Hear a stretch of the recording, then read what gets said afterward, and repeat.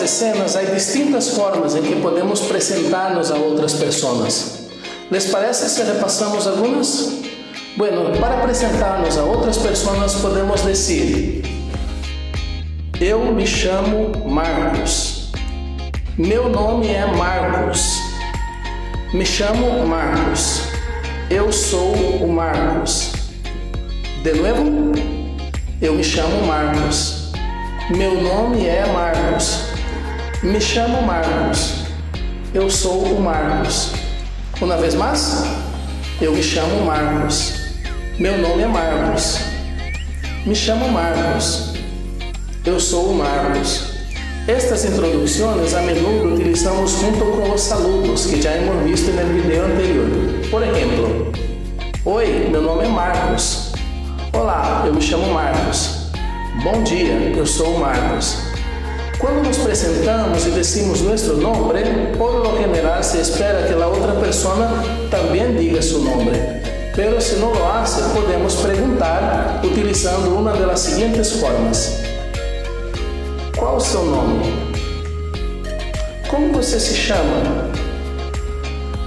Seu nome, por favor? Também, tal como em vários outros idiomas, em inglês, por exemplo, há a forma quem é você? Pero no la utilizamos mucho porque dependiendo de quién y la entonación que utiliza para hacer esta pregunta, puede sonar un tanto rudo, grosero. ¿Qué é você? Así que es más seguro utilizar estas formas que ya hemos visto anteriormente. Después de presentarse y conocer el nombre de la otra persona, se puede decir: Prazer, é um prazer, muito prazer. Prazer em conhecê-lo, prazer em conhecê-la. De novo, prazer, é um prazer, muito prazer. Prazer em conhecê-lo, prazer em conhecê-la. Para responder, podemos dizer: O prazer é meu, o prazer é todo meu. Ou sencillamente, prazer. Cuidado para não mesclar, ok? Placer em espanhol, mas em português é prazer prazer, prazer, ok?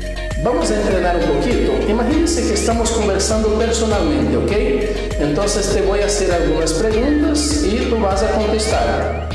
Olá, tudo bem? Eu me chamo Marcos e você? Ah, ok, prazer em conhecê-lo. Vamos tentar outra forma? Aqui abaixo vai aparecer minha resposta. Entonces tú vas a hacer la pregunta pendiente de que voy a dar esta respuesta.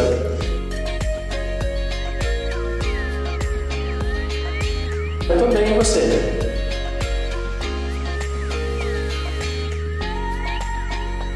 Meu nome é Marcos.